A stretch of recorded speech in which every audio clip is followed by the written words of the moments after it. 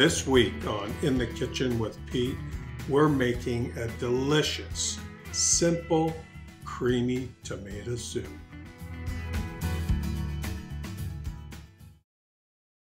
I had a hankering for some nice creamy tomato soup, so I came up with this recipe. I'm going to be using some chicken stock. Vegetable stock is great as well.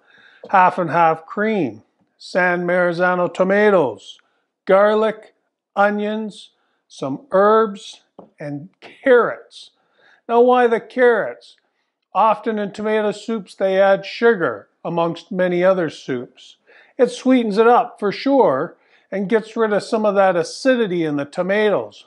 But the carrots do just as well. And I'm no nutritionist, but I gotta think carrots are better for you than sugar. Just saying. Anyways, let's get over to the stove and get cooking.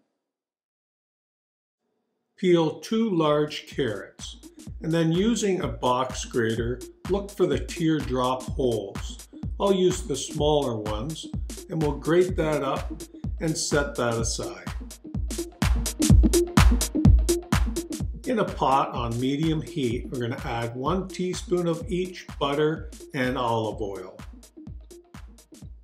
We'll add one cup of white onions finely diced just to soften them up about five minutes.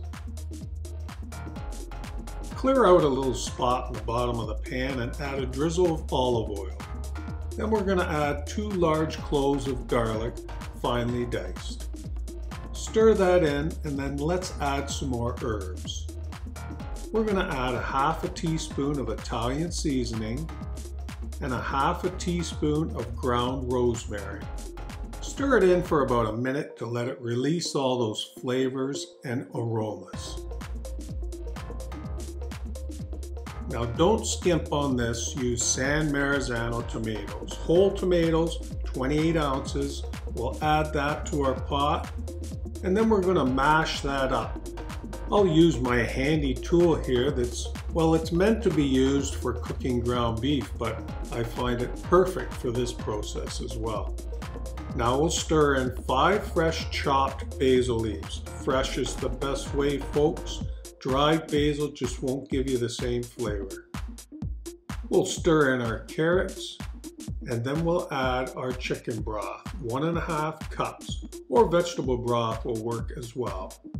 Turn it up to high heat and bring it to a boil. Reduce the heat to low, cover it, and let it simmer for 40 minutes. Stir it occasionally. Add a pinch of salt and pepper to taste and now it's time to blend it. I'm using my immersion blender. These work very well for this process. You can use a stand-up blender as well. And bring that to a nice smooth consistency. There we go, it's looking nice and smooth now. And now we're gonna add some half and half cream. Make sure it's at room temperature when you add this and then gently stir that in and you'll see how nice and silky it becomes.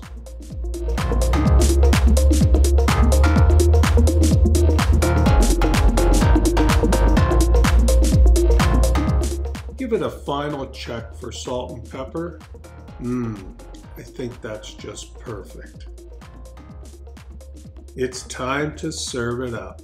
Oh my. Doesn't that look delicious? Now here's one way I like it. I like to add a couple little croutons.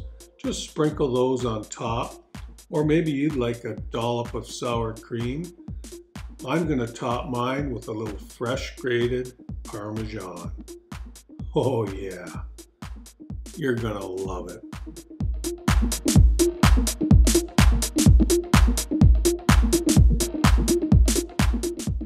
I'll garnish that with a little bit of fresh basil on top.